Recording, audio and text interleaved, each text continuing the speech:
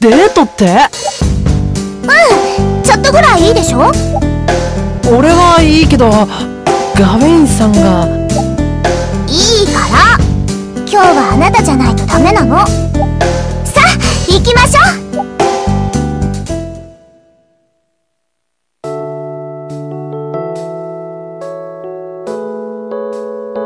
またのご来店を。は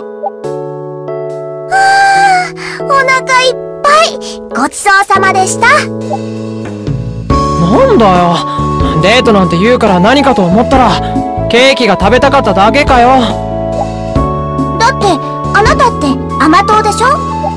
あなたとのデートの最中にケーキを食べたってことなら怒られないかなと思って。何かケーキを食べちゃいけない理由でもあるのか？私って好き嫌いが多くてお菓子ばっかり食べていたから。ガウェインにお菓子禁止令を出されちゃったのよね。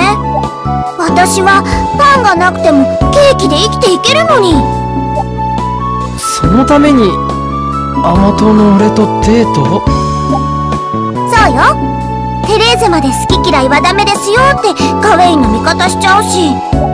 カラ島のジェフティはお茶受けの和菓子くらいしか手を出さないし。ライカなんてケーキ屋の甘い匂いだけで胸焼け起こして青くなっちゃうわよ。だからあなたってわけ。そんなこったろうと思ったよ。でも好き嫌いは良くないぞ。一体何が食べられないんだ？じゃがいもとか穀類は平気よ。でもそれ以外のお野菜は全部嫌いおい。ヨーグルトは好きだけど牛乳も嫌い。あとお魚も。おいおい。何をどうしたらそんな変色家になれるんだ？これくらい普通よ。まったく死髄を上回る変色家がいるとは思わなかったな。こんな変色家だと知ってたらケーキ屋なんかに連れて行かなかったのにだって甘いものを禁止されたら怒るでしょ？それに本場の美味しいお菓子を目の前にしてカイトは我慢できるの？そうだな。本場の美味しい菓子ってのは魅力的だよな。今だと季節外れだけどドライフルーツたっぷりのシュトレンもうまいしトルテもいいな。チョコレートたっぷりのザッハトルテだろ。さくらんぼを使ったキルシュトルテとかアーモンドの香りとラズベリージャムたっぷりのリンツァートルテとか。そうそうその通りよ。どれもすごく美味しいのに。お菓子禁止なんて大反対。カイトは私の味方よね。もちろん味方だよ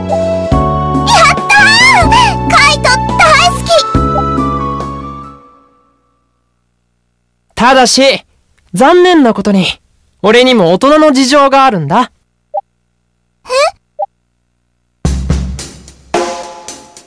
サラさん？て、テレーゼどうしてここに？カイトさんからお土産にどのケーキが欲しいかと電話がありました。えー、ケーキ屋さんにいるって話しちゃった悪く思うな、サラ。ひどい。カイトの裏切り者。サラさんあれほどお菓子はダメだと言われていたはずですよ。だってせっかくカイトさんと野菜を使ったケーキのレシピを考えていたのに。俺が野菜嫌いの友達用に作ったレシピをテレーゼに渡してあったんだよ。まさか、サラのために用意するケーキとは知らなかったけどな。お菓子の全面禁止ではさすがにサラさんがかわいそうですものテレーゼカイト二人とも大好き はいはい、わかったわかった。ん今日私のわがままに付き合ってくれたお礼よ。受け取って。サンキューありがたく受け取っておくよ